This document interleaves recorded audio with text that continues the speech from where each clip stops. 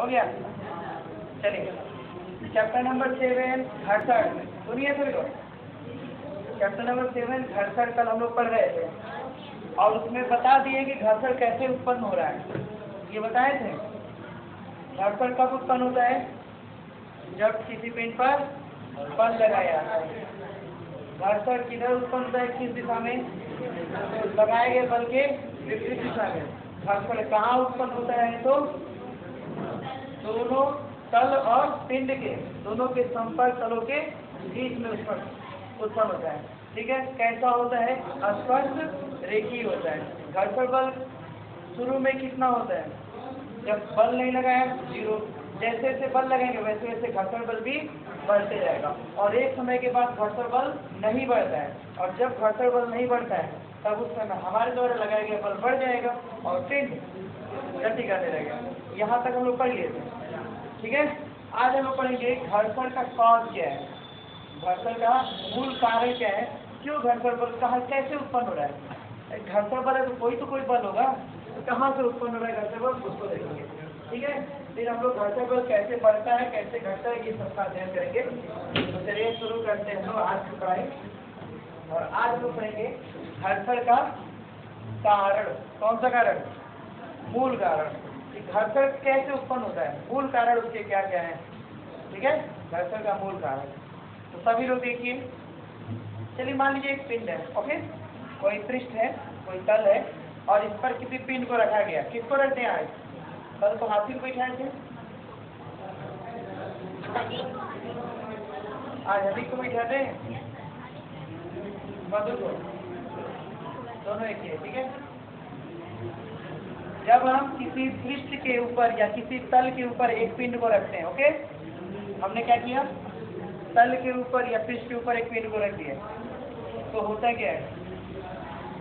क्या आप ये पढ़े हैं? पहले का कि सभी पर कोई भी पदार्थ परमाणु से मिलकर बना है। पढ़े हैं ना आप लोग? ये ब्रह्मांड में, पूरे ब्रह्मांड में बता रहे हैं। प्रत्येक कण किससे मिलकर बना है? परमाणु से मिलकर बना है। यहाँ तक कि ना रोबो टू पॉइंट वो था ना फ़िल्म उसमें यहाँ तक दिखा दिया कि भूत भी जो है ना, एक परमाणु वाला पार्टिकल है। है ना? भूत वाला देखिए, परमाणु वाला पार्टिकल है। एंटी पार्टिकल उसको कह दिए थे जी और उसको लिए आकर्षण करने के लिए कि सब आगे चिपक जाएगा पार्टिकल और वहाँ डिस्चार्ज कर दिया जाएगा, सब कुछ वहाँ कर दिया सर यानी वो सब विकसित कर दिए कि भूत क्या है? एक क्या है? पार्टिकल है, यानी परमाणु है। है ना? बोलिए रोबोट देखिए ना, रोबोट ट्वेंटी फोर पक्षी राज वाला, है ना एंटी मैटर बना दिए उसको भी तो देखिए, अगर हम किसी तल के ऊपर किसी पिंड को रख देते हैं ना तो होता क्या? है होता यह है कि तल भी परमाणुओं से मिलकर बना है। बोलिए। तल भी परमाणु से मिलकर बना है। तो इसके परमाणु अलग अलग होंगे। और ये जो पिंड को रखे, ये भी किससे मिलकर बना है? परमाणु से मिलकर बना है। बोलिए। ये भी परमाणु से मिलकर बना है। इसके परमाणु और इसके परमाणु अलग अलग है कि नहीं? जैसे मेरा हाथ है और डस्टर है। हाथ के परमाणु और डस्टर के परमाणु दोनों क्या होंगे? अलग अलग होंगे। सेम होंगे। अलग अलग होंगे। है कि नहीं? उसी तरह अगर मान लीजिए सड़क है और सड़क पे किसी टायर को रख दिया है तो सड़क के परमाणु और टायर के परमाणु अलग अलग होंगे। ठीक? तो आप लोगों ने ये नाम कहीं पढ़ा है क्या? ससंजन बल। और? असंजन बल। पढ़ा है? बोलिए ससंजन बल किसे कहते हैं? नहीं पढ़े आप लोग? हाँ तो दो प्रकार का फोर्स होता है, ये भी देख लीजिए। असंजन बल और असंजन बल, ठीक है? और दोनों एक इसी प्रकार के हैं इनको मुख्य रूप से कहेंगे परमाणविक बल। परमाणविक बल। ठीक है? ये परमाणुओं के बीच लगते हैं। असंजन बल और असंजन बल। फिर आगे इसमें और पढ़ेंगे आप लोग। अंतर आणविक बल और अंतर आणविक बल। ठीक है? Intermolecular force and intermolecular force आप लोग पढ़ेंगे आगे। असंजन बल किसे कहते हैं? और असंजन बल। तो जैसे आप लोग कभी ऐसा इंस्ट्रूमेंट सुनोगे कि जल कहीं पर रखा हुआ है, किसी बोतल में या किसी गिलास में कहीं भी रखा हुआ है, और उसमें हम अपनी उंगली को चिपकाते हैं। अपनी उंगली को ऐसे डालते हैं तो जल के कण हमारी उंगली पर चिपक जाते हैं। क्यों चिपके? सौ बल की आठ बल सौ बल के कारण। तो सौ संजन बल यानी जल का कण और हमारे हाथ का कण। दोनों अलग अलग है कि एक ही जैसा है? अलग अलग है तो इसका मतलब कि हमारे हाथ का परमाणु अलग है और जल का परमाणु अलग है। तो जब भिन्न भिन्न परमाणु के मध्य बल लगे ना, आकर्षण वाला तो उसको बोलते हैं तो संजन बल। और जब एक ही प्रकार के परमाणु के मध्य बल लगे तो उसको बोलेंगे आसंजन बल। क्या बोलेंगे? आसंजन बल। तो ससंजन बल भिन्न भिन्न परमाणु के मध्य बल लगता है, और आसंजन बल एक ही प्रकार के परमाणु के मध्य लगता है बल। जैसे मान लीजिए कांच है। कांच है और उसके ऊपर दूसरा कांच रख दिए एक कांच के ऊपर दूसरा कांच को रख दिए और ऐसे बल लगा के सरकाने की कोशिश करिए। सरकेगा। कभी आप लोग सरकाए हैं। एक कांच के ऊपर दूसरे कांच को रखकर ऐसे सरकाना है। कांच का एक, मान लीजिए, ऐसे कांच का एक सीट है और उसके ऊपर एक और कांच का सीट रखिए और सरकाने की कोशिश करिए। अब कुछ नहीं तो टीना देखिए ना। अरे सीमेंट वाला टीन जो होता है, सीमेंट वाले टीन के ऊपर एक और सीमेंट वाले टीन को रख दीजिए। और उसके ऊपर सीमेंट को टीन को बल लगा के सरकाने की कोशिश करिए। नहीं सरकेगा? क्यों नहीं सरकेगा?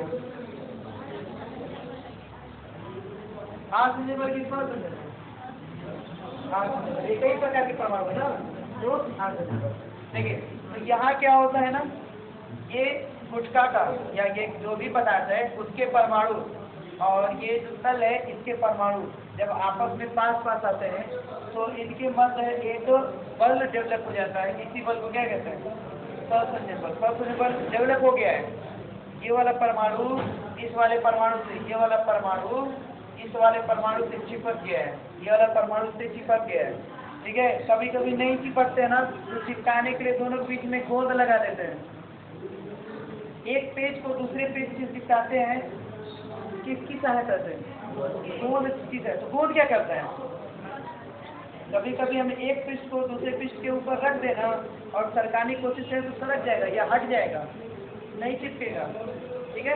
लेकिन अगर दोनों के बीच में गोंद लगा दें, इसे गोंद लगा के एकदम बढ़िया से पालिश कर दें, और क्या रख दें? चिपका दें तो क्या हो जाएगा?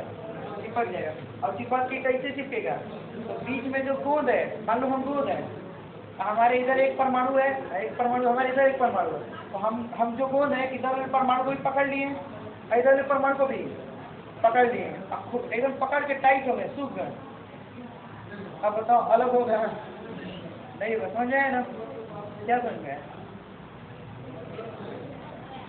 गोंद कैसे चिपकाता है। कभी कभी एक पृष्ठ दूसरे पृष्ठ नहीं चिपकता है, जिससे वही कागज़ की बात करें। एक कागज़ के ऊपर दूसरा कागज़ रख लो तो चिपकेगा उतना से लेकिन अगर एक कागजों की संख्या बढ़ जाए तो कागजों की संख्या बढ़ने से मतलब कि दो किताब ले लीजिए, या दो कॉपी ले लीजिए। एक का पन्ना पलटिए, दूसरे का पन्ना पलटिए, फिर एक का पलटिए, फिर दूसरे का पलटिए, फिर एक का पलटिए, फिर दूसरे का ऐसे करके पूरे कापी पलट दीजिए सब जुड़ जाएँगे एक दूसरे में, और उसके दोनों कापियों को खींच के अलग करिएगा। अलग हो जाएगा?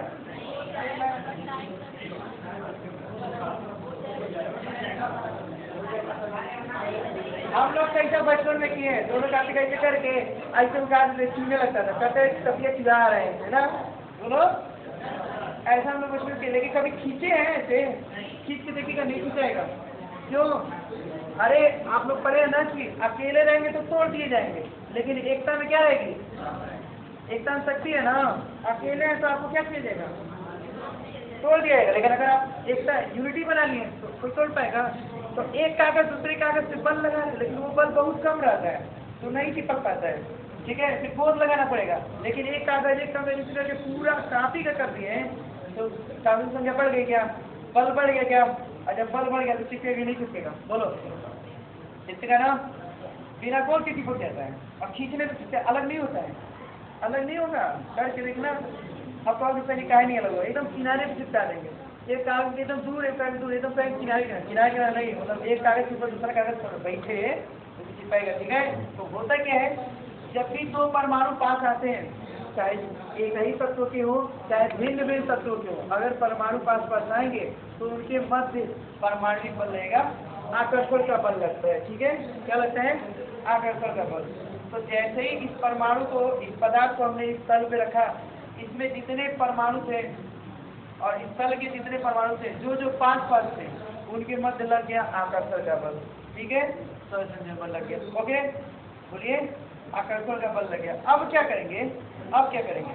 इसको धक्का देंगे। देखिए घर्षण बल कहाँ से उत्पन्न हो रहा है? जब इसको हम धक्का देंगे ना इधर से, चलो यहाँ इधर से धक्का देते हैं। जब इधर को धक्का देंगे ना तो ये परमाणु कहेगा, इस परमाणु को। ये जो तत्व, ये जो पदार्थ है, इसके परमाणु, इस पदार्थ, इस परमाणु के, इस तत्व के, या इस तल के परमाणु कहेंगे अच्छा चलते हैं दुआओं में। है ना ये नहीं कहेंगे अच्छा चलते हैं दुआ में। तो ये कहेगा क्यों जा रहे छोड़ के? नहीं कहेगा। नहीं भैया, आकर्षण बल है। दो परमाणु एक दूसरे से आकर्षित हुए हैं। तो जैसे हमने इस पे फोर्स लगाया, अकेला परमाणु तो है नहीं। भैया, ये भी जुड़ा, ये भी जुड़ा, ये भी जुड़ा, सब तो जुड़े हैं इससे, एक एक परमाणु से। और जब हम इस पे बल लगा रहे हैं, बल लगाए थोड़ा सा तो ये वाला इससे, ये जो आकर्षण बल है, अलग से हम आपको बता दे रहे हैं कि ऐसे ऐसे परमाणु हैं, ठीक है? ऐसे ऐसे, एक का परमाणु दूसरे परमाणु, ये इससे जुड़ा, ये इससे जुड़ा, ये इससे जुड़ा। और जब हम ऊपर वाले पे फोर्स लगा रहे हैं तो ऊपर वाले फोर्स लगा तो ऊपर वाला कहेगा कि हम जा रहे हैं। बोलिए, चूँकि तो ये दोनों आकर्षण बल से बंधे हैं, आकर्षण बल में बंधे हैं, जब हम इसको इधर भेजेंगे तो ये वाला कहेगा कि हमको क्यों छोड़ के जा रहे नहीं कहेगा। बोलिए। अरे धोखा देने की बातें छोड़िए। पहले हाँ सही कह रहे हैं, वो कह रहे हैं कि धोखा दे दिया। जैसे हम इसको पल लगे, इसने क्या किया? धोखा दिया कहेगा कि हम आपको छोड़ के क्या कर अरे पगला ये दोनों के बीच में आकर्षण बल मैंने बधी है ना। मान लो कूटा है गैया है ये कूटा है गैया है अब हम यहाँ से बल लगे, मैंने डंडा से मारे हैं। तो कुंटवा कुंटवा खिंचाएगी कि नहीं खिंचाएगी? जाएगी कुटवा को? अगर कुटवा खिंचाएगी तो कुटवा मज़बूत रहेगा तो टूटेगा रस्सिया रस्सी टूटेगा तो भैया भागेगी नहीं भाई तो तनी और बल लगाएँगे। बोला तनी तू तो चालू कर, क्या गाय को नहीं मारते है ना? गाय को नहीं मारते भाई को मारते हैं, ठीक है? भैंसिया तो सीधी होती है। भैंसिया सीधी होती है। अच्छे, मान लो समझने के लिए। मान लो समझने के लिए साढ़ है, बैल है, कुछ तो है। ठीक है, पादे गधा मान लो। कुछ नहीं गधा मान लो। वो तो तीन चार, तीन साफ़ करने लगता है ना। तो जब हम इसमें बल, समझ लो ना? बस जब हम इसमें बल लगाए ना, क्या किए? जब हम इसमें बल लगाए हैं तो इन दोनों के बीच आकर्षण था मैंने रस्सी था बधी है, एकदम टाइट से। तो टूटेगा रस्सिया बोलो रस्सी टूटेगा? आकर्षण बल टूटेगा? नहीं टूटेगा। तो सर हमको और बल की मात्रा क्या करना है? बढ़ाएँगे? तो ठीक है, थोड़ा सा परमाणु। यहाँ पे बल की मात्रा हम बढ़ाएँगे करते तो ये परमाणु के बीच में जो बल है ना, वो कमज़ोर होगा। कमज़ोर होगा। थोड़ा सा और बल बढ़ाएँगे। थोड़ा और कमज़ोर होगा। थोड़ा सा और बल बढ़ाएँगे। तो होता क्या है? बल बढ़ाते बढ़ाते बढ़ाते बढ़ाते एक समय ऐसा आ जाता है कि ये जो बल है ना, दो परमाणु के मिश्र जो लगने वाला बल है, वो एकदम कमज़ोर हो जाता है। एकदम कमज़ोर मतलब कि एकदम खुद के एकदम तैयार है। जैसे मान लो, जैसे मान लो, देखो साढ़ है। क्या है? एक सार है, अब सार को तुम मार रहे हो। एक डंडा खींचे बेचारा सार सीधा है, कुछ नहीं किया। अपनी जगह पर खड़ा है। एक डंडा और खींचिए। एक डंडा और खींचिए। अब धीरे धीरे उसको लगेगा ना कि कोई हमको परेशान कर रहा है। लेकिन सीधा है, अभी ज़्यादा कुछ नहीं। तो चार डंडा और खींच दिए अब उसका दिमाग डाइवर्ट होना शुरू होगा बोलो, अब उसका दिमाग डाइवर्ट होगा अब क्या करेगा? हाँ धीरे धीरे गर्म होगा। पहले ऐसे करता है हाँ खटो जाप नहीं करता है, पहले पहले नहीं दौड़ाएगा, पहले ऐसे हटाएगा। फू फू करेगा। नहीं, बोलिए, करता है फू फू और उसके बाद थोड़ा सा डंडा फिरा दिए अब उसके बाद जब एक डंडा और भिड़ा है तो एकदम गर्म हो गया है। और दस पंद्रह डंडा में क्या हो गया है? गर्म हो गया अब गर्म हो गया तो देखते हो ना बलिया भी ऐसे फेंकते हैं, सब ऐसे पैरवा ऐसे खुश होता है सब। और इसको नहीं तो बकरवन के चाहे बकरियन के ये तो एकदम देखते हो। बकरा जी बकरिया जी है ना? ये को तो एकदम ऐसे उठ के मारने आते तो ये एकदम खुरुस के एकदम रेडी है। ऐसे से खुलता है, पैर से। एकदम क्या है? रेडी है अब एक बार और मारिए तो हम आपको बता रहे हैं। बोलो, अब उसके पहले हम एक कुछ और भिड़ा दिए फट से घूमेगा? और क्या कर देगा? बल लगा घर्षण बल खत्म। घर्षण खत्म। वही सेम कहानी यहाँ होती है। जब दो परमाणु एक सेल के ऊपर किसी हम पदार्थ को रख देते हैं ना, जब एक तल के ऊपर हम किसी पदार्थ को रख देते हैं तो किस हो रही है।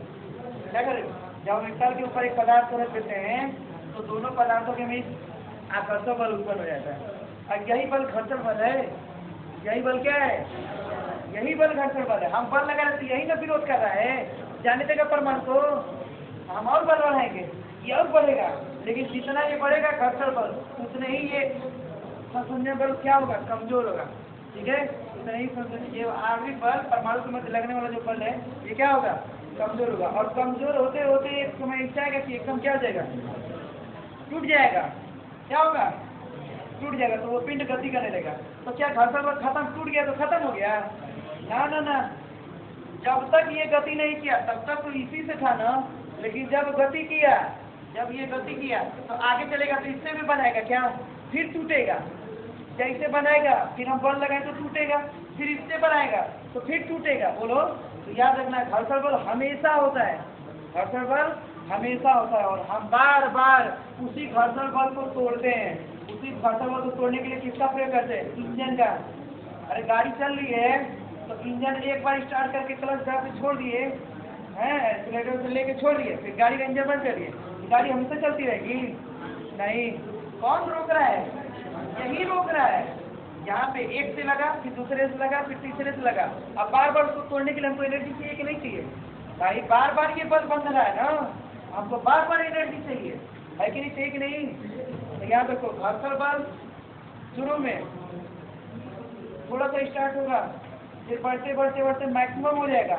और उसके बाद जब तक पिंड गति करेगा, उतना ही रहेगा। यानी घर्षण बल का ग्राफ का है आपसे घर्षण बल का ग्राफ बनाएँगे तो जब पिंड गति नहीं करता है ना तो ज़ीरो रहता है। जब पिंड बल लगाए, अभी भी गति नहीं कर रहा है, लेकिन बल लगा दिए तो बल लगा दिए अच्छा नहीं नहीं सॉरी गलती हो गया। जब घर्षण जब किसी पिंड पर बल नहीं लगाते हैं ना, तब घर्षण बल ज़ीरो होता है। ये घर्षण बल है फ्रिक्शन वाला। उसके बाद क्या होता है जैसे जैसे इस पर हम बल बढ़ा रहे हैं उस तरह से घर्षण बल भी बढ़ता है। बोलो उस तरह से घर्षण बल भी बढ़ता है और बढ़ते बढ़ते बढ़ते बढ़ते। एक पॉइंट पे क्या हो जाता है? फिक्स हो जाता है। उसके बाद अगर हम बल बढ़ाएँ तो घर्षण बल नहीं बढ़ता है। घर्षण बल उतना ही रहता है। ऐसा नहीं कि घर्षण बल वापस ज़ीरो हो जाए। तो घर्षण बल का अगर कोई पूछे आपसे कि घर्षण बल का ग्राफ कैसा हो तो आप कहोगे ज़ीरो से स्टार्ट होकर सर मैक्सिमम तक जाता है और फिर मैक्सिमम ही रह जाता है। ठीक है? और उसके जब पिंड रुकेगा तो वापस से कहाँ आ जाएगा? ज़ीरो पर आ जाएगा। ठीक है? तो घर्षण बल जब किसी पिंड पर बल लगाएँ, बढ़ा, बढ़ते बढ़ते बढ़ते मैक्सिमम हुआ और लास्ट में उसी मैक्सिमम गति करने लगा और अगर हम उन्हें बार बल हटा हटा दिया तो वापस से कितना हो जाएगा? ज़ीरो हो जाएगा। ये किसी कहना अब बताइए, जरा हमको, अब जरा हमको बताइए आप, कि यह जो पिंड पर घर्षण बल लग रहा है, इसका मूल कारण क्या है? कोई पूछे? घर्षण बल किसके द्वारा उत्पन्न होता है? तो आप कहेंगे भिन्न भिन्न परमाणुओं के मध्य लगने वाले आकर्षण बल बोलिए, भिन्न भिन्न परमाणुओं के मध्य लगने वाला जो आकर्षण बल है ना, वही क्या है? घर्षण बल है। वही क्या है? घर्षण बल है। और जब ये एक बार आकर्षण बल टूट जाएगा तो पिंड क्या करने लगेगा? गति करने लगेगा। ठीक है? तो अब घर्षण की अवस्था पढ़ते हैं। ठीक है? गति की अवस्था में घर्षण की अवस्था ऐसा समझेगा ना घर्षण का मूल कारण क्या है? अब जरा इस पे एक एक एक, एक बात और देखो। एक बात और देखो। एक क्वेश्चन इसे पूछा जाता है आपसे कि खुरदुरे तल पर घर्षण बल अधिक होगा कि चिकने तल पर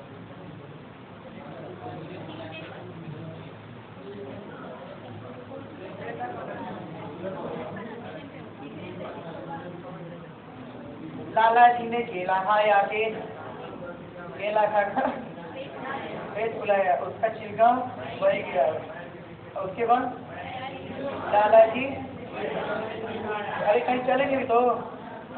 ज़ोर फुलाकर कदम बढ़ाया, ना ज़ोर फुलाकर कदम बढ़ाया, पैर के नीचे छिलकाया। लाला जी गिरे धरा मुझसे निकला। क्यों गिरे?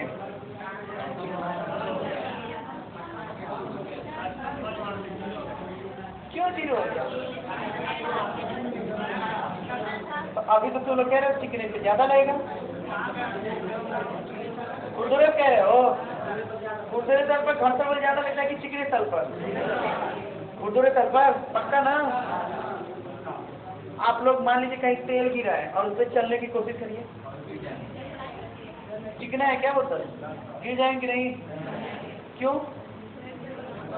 वहाँ घर्षण बल कम हो गया? पक्का?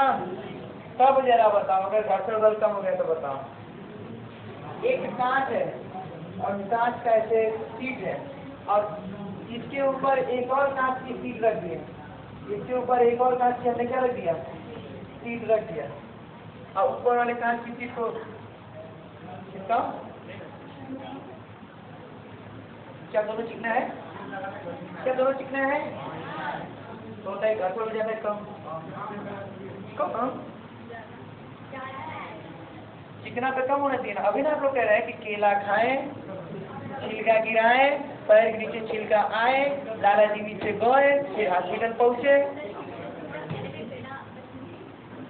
क्या हुआ था? कॉम्प्लेन नहीं था। लगा के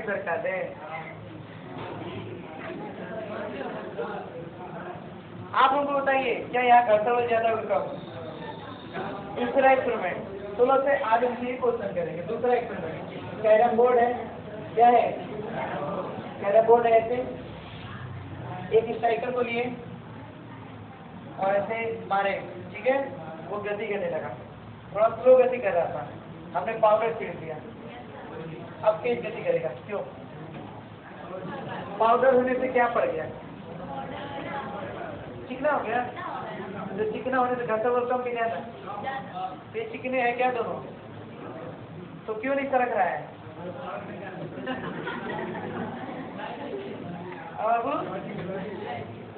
साइज़ एक हो जाए ज़्यादा भी हो, तब भी कोई बात नहीं है। लेकिन अगर थोड़ा सा उठा के ना थोड़ा सा उठा दे, उसके उसके सरकाए तो सरक जाएगा। बोलो? हमसे ना एक क्वेश्चन था एक लड़के ने किशन जी, ऐसा भी तो सरक जा रहा है तो ये भी तो चिकना है, कांच भी तो चिकना है। कांच के ऊपर दूसरे कांच को तो नहीं सकता है। नहीं सकता है, क्यों? अब क्या बताइए बताइए, दोनों के बीच में हाँ बहुत बहुत तगड़ा चिपक जाता है परमाणु, यहाँ से दोनों के बीच में दूरी बहुत कम हो जाती है। यहाँ तक इनके बीच में हवा भी नहीं रह जाती है। हवा भी निकल जाती है। और जब हवा निकल जाती है तो चिपक जाता है। और उसको तोड़ने में ज़्यादा एनर्जी चाहिए। लेकिन हाँ तुरंत टूट जाएगा कब? जब बीच में एयर चली जाए।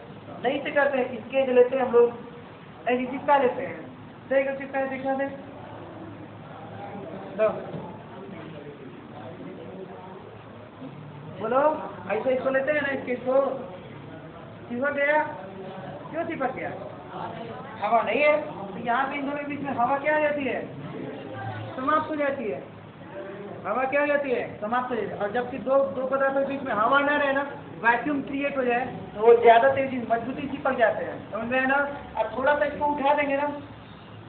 थोड़ा सा इसको उठा देंगे, इन दोनों बीच में एयर चला जाए, फिर वो चिपकेगा ही नहीं। ऐसा ही जब हम लोग मोबाइल पे वो लगाते हैं टेम्पर ग्लास इसे दबाते हैं कि हवा निकल जाए पूरा। नहीं दबाते हैं? क्यों दबाते हैं? तो बोर्ड लगा है ना। बोर्ड लगा है ना फेविकोल एयर निकाल लेते हैं हम लोग। एयर निकाल लेते हैं एयर निकाल देंगे तो मजबूती से चिपक जाता है। और उसके जब टूटता है तो ऊपर में टूटता है, नीचे लगा जाता है। क्योंकि उसमें लेयर भी होती है, कई लेयर होते हैं। कांच भी होता है प्लास्टिक भी होता है, कई सारी लेयर होती है। तो ऊपर बाबू देखो, यहाँ पे दूसरा मैकेनिज्म लगता है। यहाँ क्या लगता है? और यहाँ पे, यहाँ क्या हो रहा है? जैसे हमने पाउडर डाला ना तो उस पाउडर क्या करता है ना, वो पाउडर क्या करता है? स्ट्राइकर और बोर्ड दोनों के बीच में आ जाता है। और जो दोनों के बीच में जो परमाणु थे स्ट्राइकर का परमाणु और बोर्ड का परमाणु, उन दोनों के बीच में जो परमाणु थे, उसके बीच में कौन आ गया? पाउडर। और पाउडर क्या कर देगा? लगने देगा? नहीं लगने देगा। तो भैया बोलो, कम हो गया कि नहीं? कम हो गया तो फ़र्क क्या? स्ट्राइकर एक काम और करता है, जो गड्ढा होता है उसको भी भर देता है। स्ट्राइकर क्या करता है? गड्ढा को क्या कर देता है? भर देता है। अरे, एक काम और स्ट्राइकर तो हो गया। अगर दोनों के बीच में ये बोर्ड दोनों के बीच में फेविकोल लगा दे, ऐसे ऐसे हाथी वाला फेविकोल लगा के चिपका, ऐसे पूरा फैला दे, और उस पर स्ट्राइकर को मारे तो। बोलिए? क्यों नहीं जाएगा? चिपक गया? फेविकोल चिपका लेता है। अब पाउडर इसीलिए पाउडर छीटते हैं? अब दोनों पाउडर छीटते छीटते हैं। कि तेल डाल देंगे? तेल भी चिपका देगा। तेल इस पे लगा दे तो तेल गति कराएगा। बोलो, चिपका देगा कि नहीं? तेल भी चिपका देगा। तो सुनो, आप देखो खुरदुरे तल पर घटल पर ज़्यादा आ गए चिकने तल पर। आप बताओ। चिकने तल पर यहाँ घटल पर ज़्यादा होना चाहिए? यानी खुरदुरे तल पर घटल पर ज़्यादा नहीं होना चाहिए ना? पक्का ना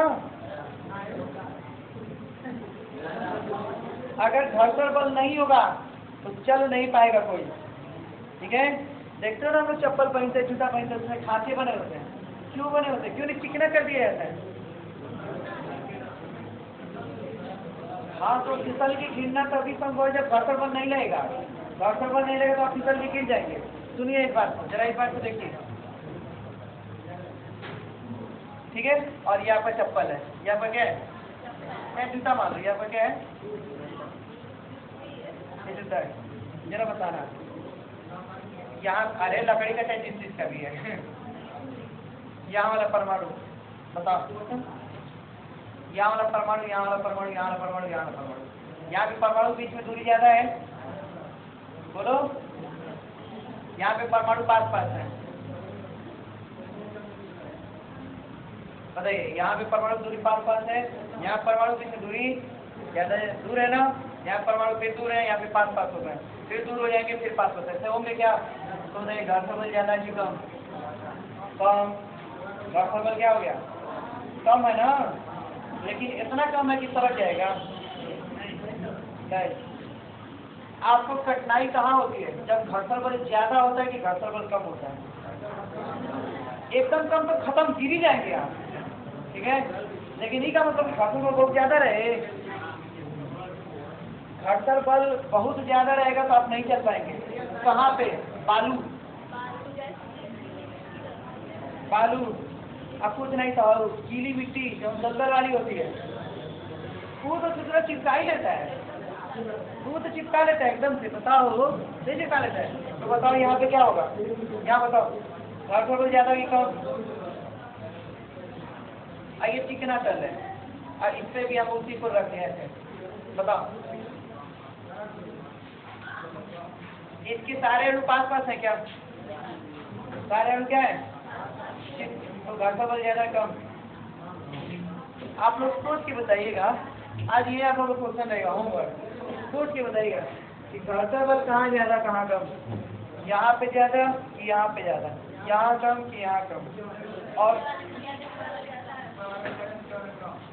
यहाँ पे कम है और यहाँ पे ज़्यादा है। यहाँ कम है। आज आप लोग होमवर्क है। ये क्या है? होमवर्क। किताब पढ़िए, अध्ययन करिए, अध्ययन करके बताइए। और इसी पर आपको आपको अगला क्वेश्चन इसी पर रहेगा। लोग गाड़ी को टायर जब घिस जाता है तो बदल क्यों देते हैं? जब गाड़ी का टायर घिस जाता है तो लोग बदल क्यों देते हैं? घर्षण बल ज़्यादा होने की वजह से कि घर्षण बल कम होने की वजह कम होने की वजह से। ओके तो आप लोग घर पे ये दोनों क्वेश्चन के आंसर निकाल जाइएगा उर्दूरे तक पर बल ज़्यादा है कि चिकने तक पर। पहला क्वेश्चन और दूसरा क्वेश्चन खराब टायर किसको मानेंगे? चिकना हो गया जो? तो क्या चिकना टायर सड़क पर घर्षण बल अधिक लगाता है कि कम लगाता है? आप लोग होमवर्क है, ज़रूर कर लेके आएँगे, ठीक है? बताएँगे ना सभी लोग? तो आज हम लोग सीखेंगे आपकी घर्षण बल का मूल कारण, दोनों परमाणुओं के मध्य दोनों परमाणुओं के मध्य भिन्न भिन्न परमाणु के मध्य लगने वाला क्या है? आकर्षण बल। और उसी आकर्षण बल को तोड़ने में हमारे द्वारा कुछ एक्स्ट्रा बल लगाया जाता है? इसी बल को क्या कहते हैं? घर्षण बल। जो ये बल दो परमाणु के मध्य लगता है, इसी को क्या कहते हैं? घर्षण बल। ठीक है? तो आज की क्लास को इसी होमवर्क से खत्म करते हैं। कल आप लोग ज़रूर बताएँगे। कल हम आप लोग बहुत सारे क्वेश्चन में फंसा देंगे। याद रखिएगा। ठीक है? तो इसको स्टॉप कर दीजिए। थैंक यू आज के लिए।